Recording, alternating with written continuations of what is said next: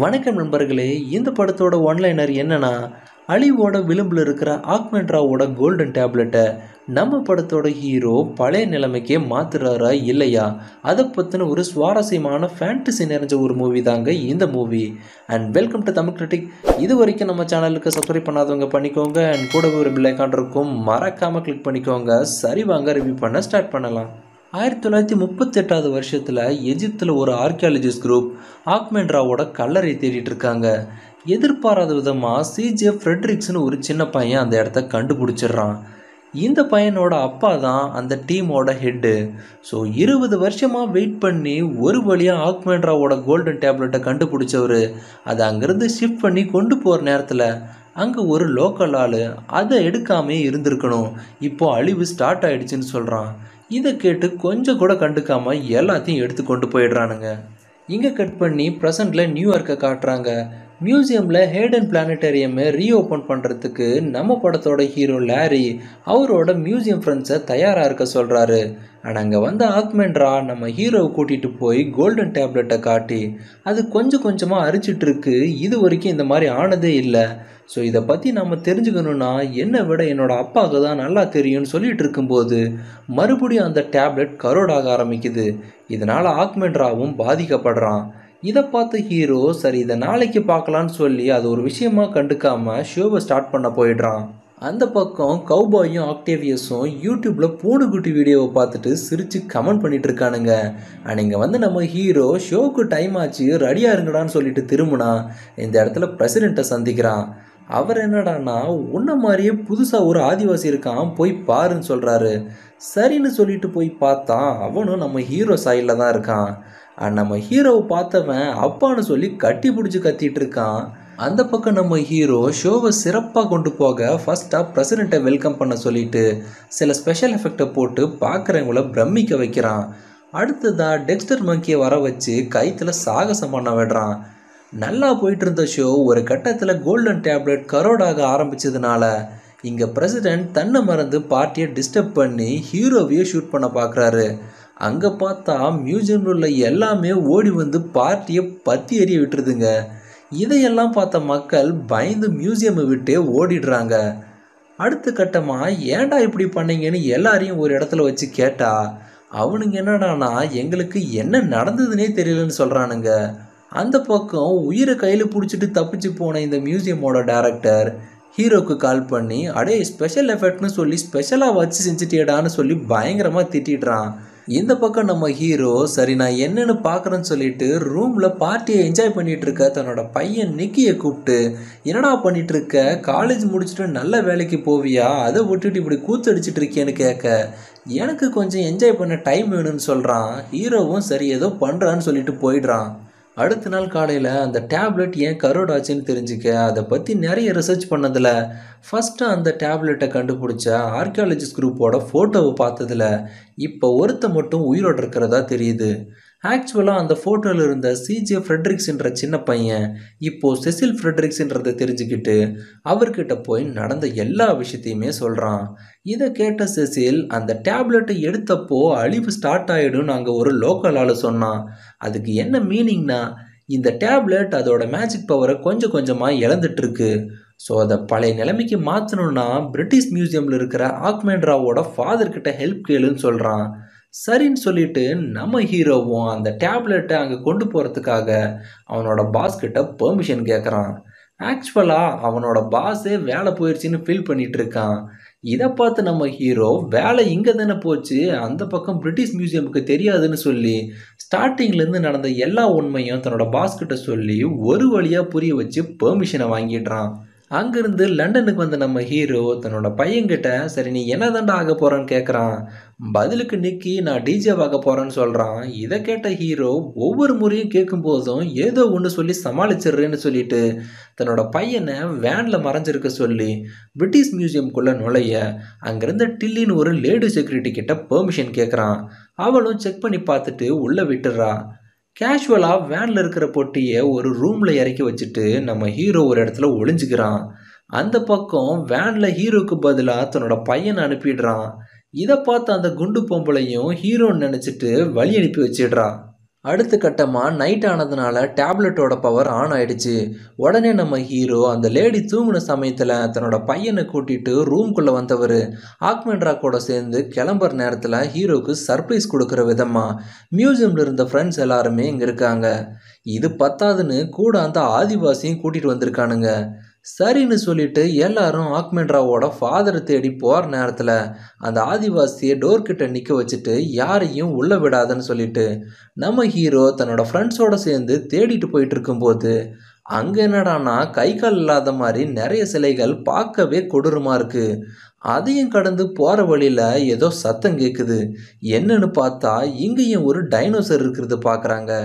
இதை பார்த்து நம்ம ஹீரோ நான் இதை ஹேண்டில் பண்ணுறேன்னு சொல்லிட்டு ஃபஸ்ட் பார்ட்டில் வந்த டைனோசர் அடக்குன மாதிரி காமெடியாக இருக்கும்னு நினச்சிட்டு ஒரு எலும்பு எடுத்து தூக்கி போடுறான். அது என்னடானா கடிச்சு துப்பி தூர போட்டுட்டு இவங்கள துரத்திட்டு வருது.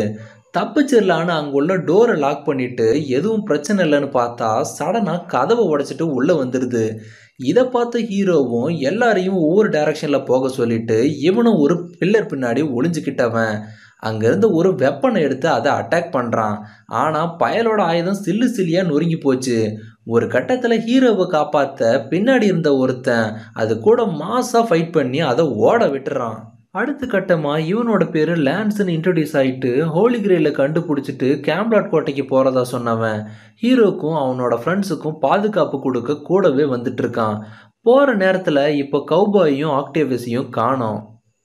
இவங்க ஓடி வரும்போது எங்கேயோ தவறி விழுந்திருக்கானுங்கன்னு தெரிஞ்சுக்கிட்டு அவனுங்களை தேடி போய் பார்த்தா ஒரு வென்டிலேஷன் டக்கில் ஆக்டேவேஸோட ட்ரெஸ் பீஸ் இருக்கிறத பார்த்துட்டு உள்ளே தான் விழுந்திருக்கானுங்கன்னு கன்ஃபார்ம் பண்ணிடுறாங்க. அங்கே பார்த்தா ரெண்டு பேரும் காற்றுல அடிச்சுட்டு பறந்து போனவனுங்க. ஒரு கட்டத்தில் நம்ம ஹீரோ வென்டிலேஷன் டக்கில் போகிற ஏரை ஸ்டாப் பண்ணிடுறான். இதனால் ரெண்டு பேருமே தப்பிச்சிடுறானுங்க. அடுத்த கட்டமாக இவனுங்களை ட்ராக் பண்ணுறதுக்காக நம்ம ஹீரோ தன்னோட பையன்கிட்ட இருக்கிற செல்ஃபோனை வாங்கி அதில் ஒரு கயிறு கட்டி குரங்கு உடம்புல வச்சு அந்த வென்டிலேஷன் டக்கில் அதை அனுப்பிடுறான். அந்த குரங்கும் வேகமாக அவனுங்களை தேடி போயிட்டுருக்கு. நம்ம ஹீரோவும் ட்ராக் பண்ணி போகிற வழியில் நீங்கள் எதைத்தான் தேடி போகிறீங்கன்னு லேண்ட்ஸ் கேட்குறான் பதிலுக்கு ஹீரோவும் டேப்லெட்டில் ஒளிஞ்சிருக்கிற மேஜிக்கில் ப்ராப்ளம் இருக்குன்னு சொல்லி அதை சரி செய்ய தான் வந்திருக்கோம்னு சொல்லிட்டு ஒரு இடத்துல பார்த்துட்ருக்கான் இந்த பக்கம் லேன்ஸ் இதெல்லாம் உண்மையான ஆக்மெண்ட்ரா கிட்ட கேட்க அந்த டேப்லெட்னால தான் நீங்கள் உயிரோடவே இருக்கீங்கன்னு ஆக்மெண்ட்ரா சொல்கிறான் இதை கேட்ட லான்ஸ் அப்போ நான் பார்க்குறதெல்லாம் உண்மை இல்லையான்னு சொல்லிட்டு சுற்றி இருக்கிற எல்லாத்தையும் வியந்து பார்த்துட்ருக்கான் ஒரு பக்கம் கௌபாயும் ஆக்டேவியஸும் தப்பிக்க வழி இருக்கான்னு பார்த்துட்டு இருக்கும்போது குரங்கு வருதுன்னு தெரியாமல் ஏதோ பின்னாடி பயங்கரமானது வருதுன்னு பயந்து போய் ஒரு இடத்துல குதிச்சா ரோமன்ஸோட சிட்டி இங்கே யாராவது இருக்காங்களான்னு ரெண்டு பேரும் தேடி பார்க்குறானுங்க. ஆனால் அந்த இடத்துல பாம்பேன்னு இருக்கிற வேர்டை பார்த்துட்டு e ஈ ஓப்புன்னு படிச்சுட்டு இருக்கானுங்க. அண்ட் கண்ணாடி கிளாஸில் இருக்கிற ஒருத்தன் அதே பேரை சொல்லிகிட்டு இருக்கான். இவங்களுக்கு என்னன்னே புரியல. ஆனால் அந்த மக்கள் எல்லாம் பயந்தோடுறத பார்த்துட்டு இவங்கள தான் பார்த்து பயப்படுறாங்கன்னு நினச்சிட்டு இருக்கானுங்க இவனுக்கு ரெண்டு பேரும். இன்னொரு பக்கம் கருடான்னு ஒரு கிரேச்சர் இவங்களை போக விடாமல் தடுத்துட்டு இருக்கு. அதுவும் எவ்வளவோ தடுத்தும் நம்ம ஹீரோ மீறி உள்ளே வரான். அங்கே பார்த்தா ஜியாங்லுன்னு ஒரு பாம்பு தூங்கிட்டு இருக்கு. இங்கே கட் பண்ணால் அந்த சிலை நாக்கு தொங்கி போகிற அளவுக்கு சொல்லி கத்திருச்சு. திடீர்னு ஏதோ சத்தம் கேட்குது என்னன்னு பார்த்தா எரிமலை வெடித்து செதறி வந்துட்டுருக்கு. இதை பார்த்த ரெண்டு பேரும் அட சில மண்டையா எரிமலை வருதுன்னு ஒரு வார்த்தை சொல்லியிருந்தா ஓடி போயிருப்போமாடான்னு சொல்லிட்டு வேகமாக ஓடி போயிட்டு இருக்கானுங்க இந்த பக்கம் சத்தம் போடாமல் மெதுவாக போகையில அந்த டேப்லெட்டோட மேஜிக் பவர் குறைஞ்சிட்டே வருது. இதனால் ஹீரோவோட ஃப்ரெண்ட்ஸ்லாம் கண்ட்ரோல் இழந்து வித்தியாசமாக பிஹேவ் பண்ணி சத்தம் போடுறானுங்க. இதை கேட்டு முழிப்பு வந்த பாம்பு இவங்களை தாக்க வர நேரத்தில் லான்ஸ் அது கூட சண்டை போடுறான். அந்த பக்கம் நிக்கியை பாம்பு அட்டாக் பண்ணுறத பார்த்த ஹீரோ அவனை காப்பாற்ற வந்தா ஹீரோவையும் சுருட்டி பிடிச்சிருது. உடனே டார்ச் எடுத்து அதை தாக்க ஆரம்பிக்கிறான். அண்ட் இதை அழிக்க யோசிச்சுட்டே பார்த்தா ஒரு இடத்துல எமர்ஜென்சி டீஃபிபிரிலேட்டர் இருக்கிறத பார்க்குறான். அந்த பக்கம் எரிமலை குழம்புக்கு நடுவில் ரெண்டு பேரும் வசமாக மாட்டிக்கிட்டானுங்க. தப்பிக்க என்னடா பண்ணுறதுன்னு பார்த்துட்டு இருக்கும்போது ஒரு வழியாக இங்கே வந்த டெக்ஸ்டர் குரங்கு யூரின் விட்டு அந்த இடத்த கூல் பண்ணி ரெண்டு பேரையும் காப்பாற்றிடுது இதை பார்த்த கௌபாயும் ஆக்டேவியஸும் யாராவது கேட்டால் மலையில் நனைஞ்சிட்டோம்னு சொல்லிடலான்னு மனசை தேத்திக்கிறானுங்க. இந்த பக்கம் லான்ஸ் அந்த பாம்புகளை சமாளிக்கிற கேப்பில் நம்ம ஹீரோ அந்த டீஃபிபிரிலேட்டரை எடுத்து மாட்டிட்டு ஃப்ளையிங்லே வந்து ஷாக் கொடுத்து அதை சைலண்ட் ஆக்கிடுறான். இதை பார்த்த அந்த கருடன் இப்படி பல்ப் ஆயிடுச்சேன்னு நமக்கும் இதுக்கும் சம்மந்தமே இல்லைன்னு கமுக்கமாக ஓடிடுது அண்ட் நம்ம ஹீரோவோட ஃப்ரெண்ட்ஸும் நார்மல் ஆகிடுறாங்க அடுத்த கட்டமாக ட்ராக் பண்ணலான்னு ஃபோனை பார்த்தா உடஞ்சி போச்சு. சடனாக பிரசிடெண்ட்டோட கை பொம்மை ஆகிறத பார்த்த ஹீரோ ஃபஸ்ட்டு இதுக்கு சொல்யூஷன் கண்டுபிடிக்கலாம் அப்புறம் அவனுங்களை தேடிக்கலான்னு சொல்லிட்டு அங்கேருந்து கிளம்பிடுறாங்க. டோர்கிட்ட இருக்கிற ஆதிவாசி பக்கத்தில் இருக்கிற பஞ்சு தின்றதுக்கு பயபலிக்க அவ்வளோ ஆர்வம். இங்கே கட் பண்ணால் ஹீரோ கூடவே வந்த லான்ஸ் என்னோட கடமை முடிஞ்சது இனிமே நீங்களே பார்த்துக்கோங்கன்னு சொல்லிட்டு போயிடுறான். அங்கேருந்து வந்தால் ஒரு வழியாக ஆக்மெண்ட்ராவோட அப்பாவையும் அம்மாவையும் கண்டுபிடிச்சிடுறாங்க. அடுத்த கட்டமாக டேப்லெட்டை ஆக்மெண்ட்ராவோட அப்பா கிட்ட கொடுத்து இதோட மேஜிக் பவர் கொஞ்சம் கொஞ்சமாக லாஸ் ஆகிட்டு இருக்கு இது உங்களால் ஃபிக்ஸ் பண்ண முடியுமான்னு கேட்க பதிலுக்கு அவர் ஒரு ஸ்டோரி சொல்ல ஆரம்பிக்கிறாரு. என்னன்னா ஆக்மெண்ட்ரா பிறந்ததுக்கு அப்புறம் அவனை விட்டு பிரியாமல் இருக்கிறதுக்கு நைட்டில் மட்டும் உயிர் வாழ்கிற மாதிரி ஒரு மேஜிக் பவர் கொண்ட இந்த டேப்லெட்டை சக்தி வாய்ந்த மந்திரவாதி யூஸ் பண்ணி உருவாக்கினேன். மூன் இருந்து வர ஒளினால இதுக்கு பவர் வந்து ஒவ்வொரு நைட்டும் தன்னோட எனர்ஜி அது ரீகெயின் பண்ணிக்கும்னு சொல்கிறாரு அண்ட் சடனாக மறுபடியும் அந்த டேப்லெட்டோட பவர் டவுன் ஆகுது. இதனால ஆக்மெட்ராக்கு பாதிப்பு அதிகமாகிறத பார்த்த அவனோட அப்பா நம்ம ஹீரோ கிட்ட உடனே அந்த டேப்லெட்டை மூணில் கொண்டு போய் காட்டு. இல்லைனா சன்ரைஸ்னால எல்லாரும் இறந்து போயிடுவாங்க. அதுக்கப்புறம் எதுவுமே பண்ண முடியாதுன்னு சொல்கிறாரு சடனாக அந்த டேப்லெட்டை வாங்கின நம்ம ஹீரோ பயங்கர வேகமாக ஓடி போய் மூன் லைட்டில் பட வைக்க அந்த டேப்லெட்டை சரி செஞ்சுட்டு இருக்கும்போது இந்த இடத்துல ஹீரோவோட பையனை கொன்னுடுவேன்னு மிரட்டின லான்ஸ் அந்த கோல்டன் டேப்லெட்டை வாங்கிட்டு இதுதான் என்னோட தேடல்னு சொல்லிட்டு அந்த டேப்லெட்டை இவனோட ஆர்த்தர் கிங்க கிட்ட ஒப்படைக்க கேம்லாட்டை நோக்கி போயிட்டு இருக்கான் அண்ட் நம்ம ஹீரோ பின்னாடியே துரத்திட்டு வந்தவன் ஒரு கட்டத்தில் லான்ஸ் பிரசிடெண்ட்டுக்கும் ஹீரோக்கும் நடுவில் மாட்டிக்கிறான். சடனாக பிரசிடெண்ட்டோட ஹேண்ட் ஒர்க் ஆகாதனால இதை பார்த்த லான்ஸ் பிரசிடெண்ட்டை அட்டாக் பண்ண போகிறான் உடனே நம்ம ஹீரோ அவன் பக்கத்தில் உள்ள டிராயிங்ஸ்குள்ளே இழுத்து கொண்டு போயிடுறான். உள்ள ரெண்டு பேரும் மாறி மாறி சண்டை போட்டு டேப்லெட் எடுக்க ட்ரை பண்ணுறானுங்க ஆனால் லான்ஸ் கடைசியில் அந்த டேப்லெட்டை எடுத்துட்டு அங்கேருந்து போயிடுறான். ஒரு பக்கம் முழிப்பு வந்த அந்த குண்டச்சி டோர் கிட்ட இருக்கிற ஆதிவாசியை பார்த்த உடனே என்ன நடக்குதுன்னு பார்க்க அங்கேருந்து வந்துட்டு இருக்கா. இன்னொரு பக்கம் நம்ம ஹீரோ தப்பிச்சு வந்த கௌபாயும் ஆக்டேவியஸும் இருக்கிற இடத்துக்கு வரான். அண்ட் இங்கே வந்த ஆக்மேட்ராவோட அப்பா கிட்ட நம்ம பிரசிடென்ட் ஏன் லான்ஸுக்கு மட்டும் பவர் இன்க்ரீஸ் ஆகுது? நமக்கு ஏன் பவர் டவுன் ஆகுதுன்னு கேட்க பதிலுக்கு அவர் உயிர் வந்த ஃபர்ஸ்ட் நைட் ஸ்ட்ராங்காக தான் இருப்பாங்க. ஆனால் டேப்லெட்டோட பவர் முடிஞ்சதுன்னா அவனும் இறந்து போயிடுவான்னு சொல்கிறாரு அடுத்த கட்டமாக நம்ம ஹீரோ சரி இதை தடுத்தாகணுன்றதுக்காக லான்ஸை தேடி வெளியே வந்து பார்த்தா அவன் குதிரையில் தப்பிச்சு போயிட்டு இருக்கான். அவனை பிடிக்கிற நேரத்தில் இங்கே வந்த குண்டச்சி ஹீரோவையும் ஆதிவாசியும் ஒரு ரூமில் போட்டு அடைச்சி வச்சிடுறா. அங்கேருந்து வந்தவ இந்த விஷயத்த சொல்ல கால் பண்ணுறா சடனாக இங்கே வந்த அந்த அட்டிலாதி ஹன்னும் நிக்கும் ஃபோனை உடச்சி போட்டு ரூமில் வச்சு அந்த குண்டச்சியை லாக் பண்ணிட்டு போயிடுறானுங்க. இந்த பக்கம் நம்ம ஹீரோ ரொம்ப பேசுனதை பார்த்த ஆதிவாசி காண்டாயிட்டானோ என்னவோ உடனே அங்கேருந்து எழுந்தவன் ஸ்ட்ரெயிட்டாக போய் டோரோட கிளாஸை உடச்சிடுறான். இதை பார்த்து ஹீரோ எப்போவாது வாழ்க்கையில் ஒரு நல்ல காரியம் பண்ணியடான்னு சொல்லிட்டு அவனை கூட்டிட்டு மறுபடியும் தன்னோட ஃப்ரெண்ட்ஸ் இருக்கிற இடத்துக்கே வரான். அடுத்தது அந்த ஆதிவாசியை ஸ்டார்டிங்கில் செய்ய சொன்ன மாதிரியே சொல்லி அனுப்பி வச்சுட்டு திரும்பினா மேஜிக் பவர் டவுன்னால அட்டிலாதி ஹண்ணுக்கு பாதிப்பு அதிகமாயிட்டே போகுது. ஒரு பக்கம் லான்ஸ் கேம்லாட் கோட்டையை தேடி போயிட்டு இருக்க வழியில் சடனாக ஒரு செகண்ட் நின்றுட்டு போகிறான் இதனால் டேப்லெட்டோட பவர்னால அங்குள்ள சிங்க சிலைகளுக்கெல்லாம் உயிர் வருது. இன்னொரு பக்கம் சேக்கவிஜியாவோட ஹெல்ப்னால லான்ஸை ட்ராக் பண்ணி வந்தா முன்னாடி அந்த சிங்க கூட்டத்துக்கிட்ட மாட்டிக்கிறாங்க. உடனே ஹீரோக்கு ஒரு ஐடியா வந்து டார்ச் எடுத்து அடிக்கிறாரு. அதுங்க என்னடானா நாய்க்குட்டி மாதிரி அந்த வெளிச்சத்தை ஓடி பிடிச்சி விளையாடுதுங்க. அடுத்த கட்டமாக அவனை எப்படி கண்டுபிடிக்கிறதுன்னு பார்த்துட்டு இருக்கும்போது ஹீரோ அவன் எங்கே போயிருப்பான்னு கண்டுபிடிச்சிடுறான். ஆனால் அடைச்சி வச்சிருக்கிற குண்டச்சியை ஆதிவாசி பையன் திங்கிற மாதிரி பார்த்துட்டு இருக்கான் ஒரு கட்டத்தில் ரெண்டு பேருக்குமே பார்வையிலே ஒரு அண்டர்ஸ்டாண்டிங் வந்துடுது அந்த பக்கம் கேம்ராட் கேசல்னு நினச்சிட்டு ஒரு ஷோக்குள்ளே வந்த லான்ஸ் அங்கே நாடகம் நடிச்சிட்டு இருக்கிற ரெண்டு பேரை பார்த்துட்டு இவங்க தான் கிங் அண்ட் குயின் நினச்சிட்டு அந்த டேப்லெட் அவங்க கிட்ட கொடுக்குறான்.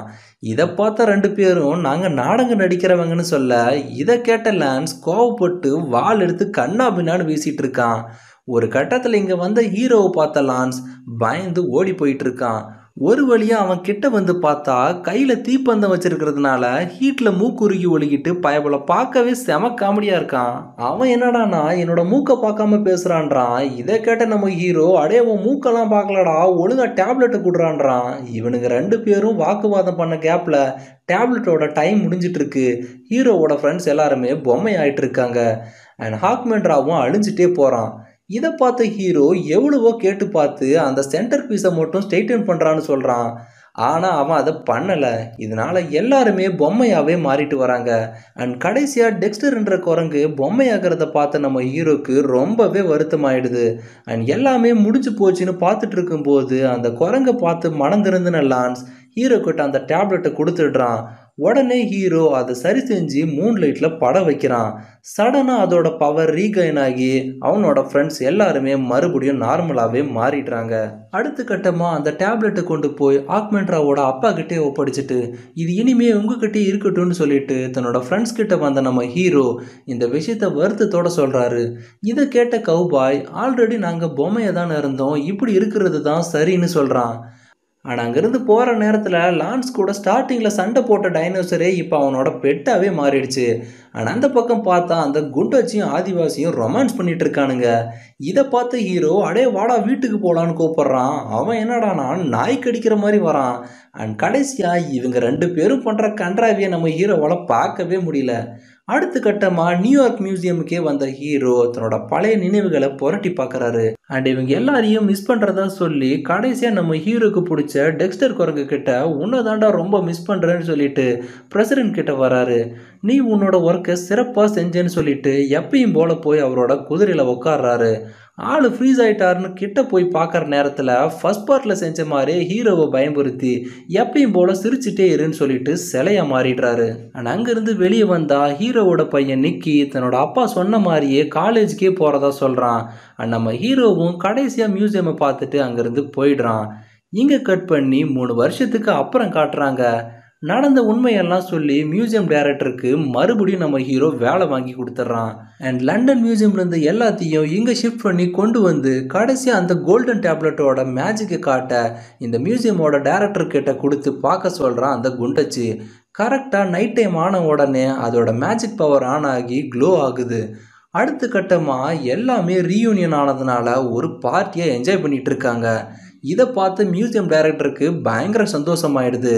ஆனால் அந்த இடத்துல மறுபடியும் அந்த ஆதிவாசி லவ்வரை பார்த்த குண்டு லேடி அவனை நோக்கி ஓடி போயிட்டு இருக்கா அண்ட் ஸ்கூல் டீச்சராக வேலை பார்க்குற நம்ம ஹீரோ இதை எல்லாத்தையுமே வெளியிலிருந்து தன்னோட நினைவுகளை ஞாபகப்படுத்துகிற விதமாக பார்த்து சந்தோஷப்பட்டுட்டு இருக்காரு அண்ட் இதோட இந்த படம் முடியுது. மேலும் ஒரு நல்ல மூவி ரிவ்யூவில் சந்திக்கிறேன். அது வரைக்கும் சி காய்ஸ் மறக்காமல் லைக்